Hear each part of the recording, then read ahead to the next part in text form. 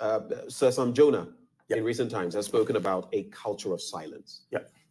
And you say that on the back of these thoughts that you've been sharing in the last few days, people have been calling you. Do you feel threatened? And death threats. Are you afraid for your life? No.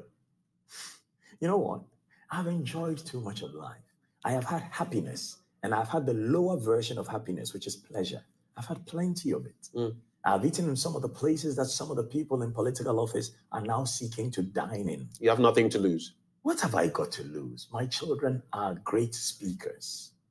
We go to battle in this day and age with speak, speak, speak, speak, speak, and thought leadership.